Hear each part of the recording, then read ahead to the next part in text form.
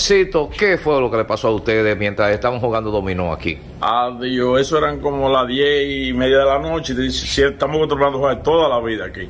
Tenemos 20, 30, 20 y pico de años jugando todos los días. Usted sabe más o menos, usted por aquí. Y vienen esos tipos.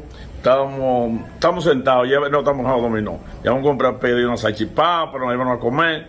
Yo estoy sentado de un lado, hay dos en la mesa, y hay un muchacho amigo mío que está sentado en una silla ahí, y entran volados, y le llevan la cadena y se van volados.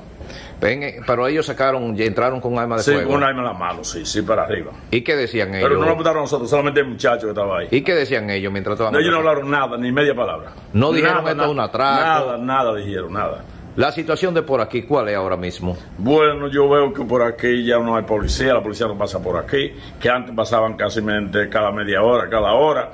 Le hago eh, para que manden policía porque tienen que chequear, uno quiere abrir la puerta un rato y, ¿verdad? Para uno mirar para afuera, pero no se puede abrir ahora. ¿Cómo le dicen esto por aquí? Tierra alta.